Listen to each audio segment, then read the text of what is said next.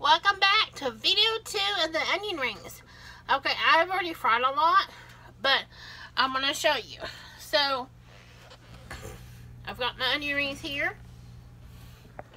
And we're just going to deep fry. So I take one out, shake, the excess off back in the little bowl. My uh, oil's up to 350 degrees. On hot for frying.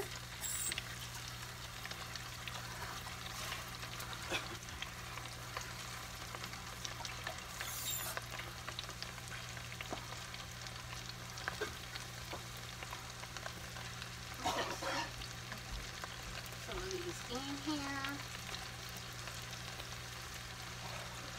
Some of these are like the end pieces or the inside pieces.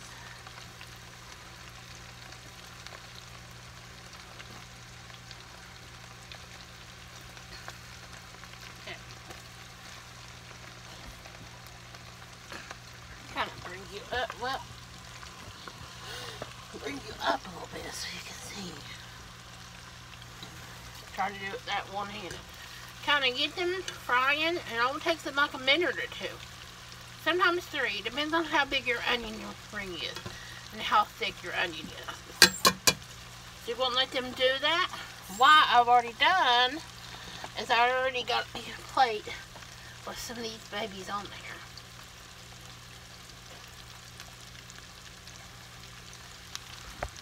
What if you can see. So I'm going to pull one up and show you. Look how nice and golden brown it is. Well, when you take them out, drain off the excess of the oil. And when you put them on a plate, line with a paper towel. Um, sprinkle some salt over the top. They need it, okay? Look how yummy them look.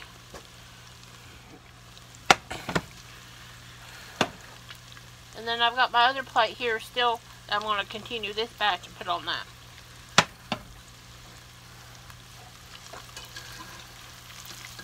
So let me turn you back to the pot so you can see. See, they're already starting to get golden brown.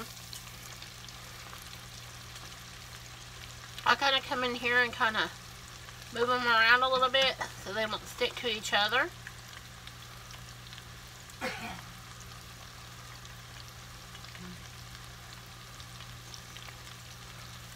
See how nice and golden brown they're getting? Now sometimes the coating uh, just comes off a little bit, but that's okay. I mean, it's alright. At least you got a little bit of coating on them.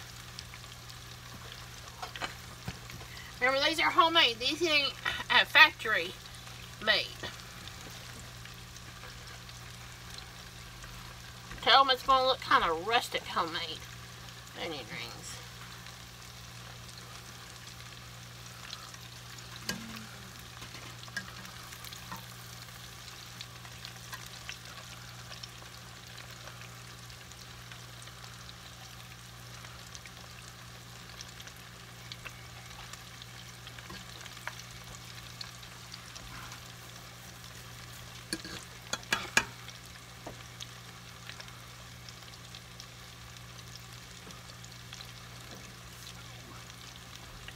Usually when you do fried fish, because I already fried fish too in this oil, and I came back to the onion rings to show you.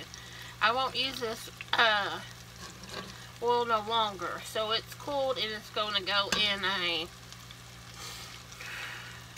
pickle jar, old mayonnaise jar I save, um, old Folgers coffee can, duct tape the lid on, and put it in the trash. But if I'm saving my oil, then I strain it, double strain it. So it gets all the little particles out. And so say I want to fry again, and I didn't do onion rings or, or fish, okay? Then I would let it cool completely, then put it in a container, and then store it in the fridge till I'm ready to fry again. So that way you don't waste your oil. So usually when I fry, been frying some, then the last time I fry, we'll do fish and onion rings or something like that. That's going to leave a taste to the oil. Because then you don't want to fry, like, say maybe you're say, making beignets or something like that. You don't want that onion or fish taste to them. So these are done. Take these out. Put them on the plate.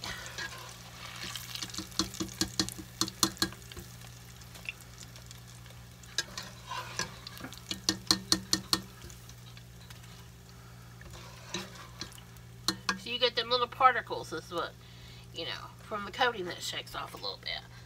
So, I hope you try this recipe. Whoops, I left one in there. I hope you try this recipe and tell me what you think. Um, I haven't tried these, how to bake these yet, or put them in the air fryer and spritz them with a, get one of them spritzer that you put oil and spritz. I haven't tried it yet, but I think it'll work. So I hope you enjoy this recipe. See you in the next video. Simply Sara. Bye, everybody.